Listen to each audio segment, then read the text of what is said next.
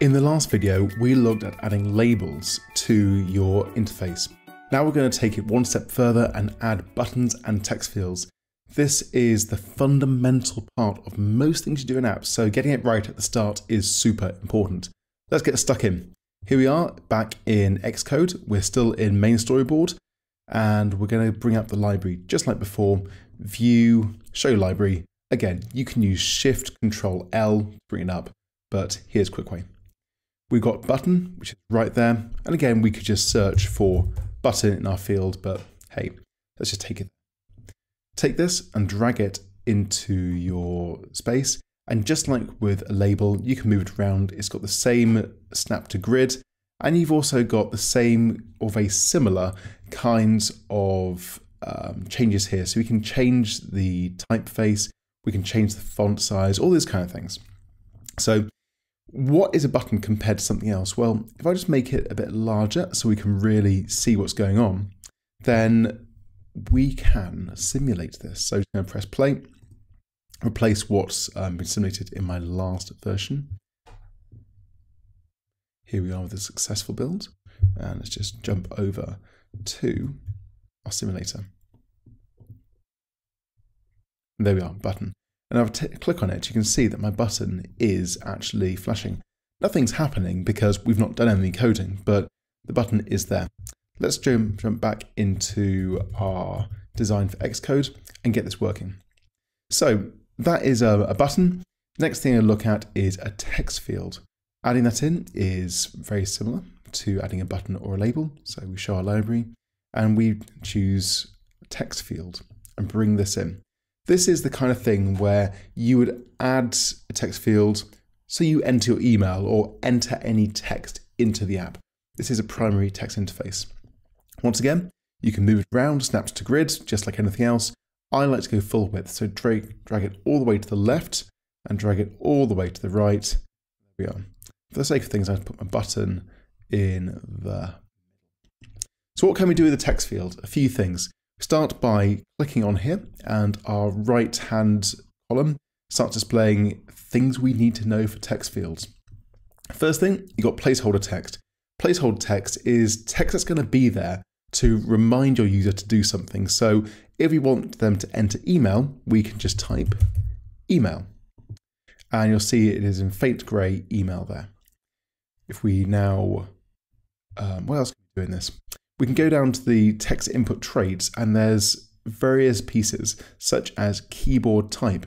If you use a iPhone, you'll know that there are different keyboards for different processes. So the email keyboard is going to have the at key, whereas your Twitter keyboard is going to have different items. So we'll just click email. Now let's simulate that again so you can see how this looks when you bring it up. Give it a second to load. There we are. You see that when I click my button, it flashes. When I click on the email, the email keyboard pops up and I can just start popping in my text just like before. So that is the email. So I've got a little challenge for you to help you learn. What I want you to do is I want you to create a basic text input form. This needs to contain your email, your password text input, and a button saying login. Now, I've not told you how to do passwords yet, so why don't you go ahead and Google how to do a password input with Xcode 12. That will give you a little hint. If you can't find it, don't worry, I'll show you the answer in a minute. So pause the video and we'll get back to you in a second. Hopefully you have gone ahead and done a great bit of searching and you found everything out. So I'm going to go ahead and build everything from scratch just to show you how to do it again. Starting with my text input. So take my field, I'm going to drag one in there. Placeholder text, I'm going to call it email. Then I'm going to drag this out right to the edges, one and two. Going to get a second one, so view, show library. Take another text input, and drop this about the right place, not worrying too much about spacing between at this point. And placeholder text is password.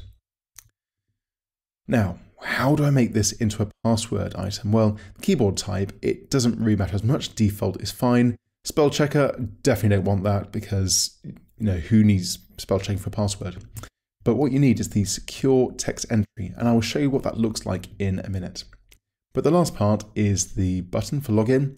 Really simple. View, show library, button, drag it in. I'm going to go for the bottom right because that feels quite natural for a login. And the text is log in. I'm going to make this slightly bigger, so let's say size 20. The Apple Human Interface guidelines will tell you how to do all of this stuff and give you the sizes of text to work on. For now, it doesn't matter. We're just learning about the basic interface. So that is what you should have built. So let's have a look at how this looks in our simulator, which is just powering up. Yep, we're done. Over we go. taking a second to load. Now you see that this is an iPhone 12 and everything is slightly off. Now that's because I'm simulating iPhone 12, but I designed for iPhone 11. That tells me that I need to have more responsive design. We're going to cover that later in the course, but for now you can see login, you can see the pieces, so it's fine for what we're doing. Click on email, you'll see that our email piece pops up. I've actually forgot to add the email keyboard last time, so slight mistake. But the password one, I did click the button, and you'll see that as I'm typing, those little secure buttons that hide the password are there. So I can click login and whatever. So let's go and correct this. So I go into my email and keyboard type, I choose email address.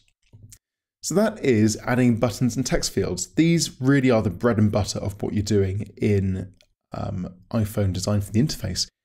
We can go further with this. We can choose our buttons and say, hey, let's add a background image, which we're going to do later on. We can add um, of different border styles, which we can just click through here and play around. Invisible buttons, default pills, we have clear buttons that never appear. We have all lots of different options, but we're going to cover that in a later video. So I hope you have been successful and learned a great amount about adding text fields and buttons to your iOS interface with Xcode.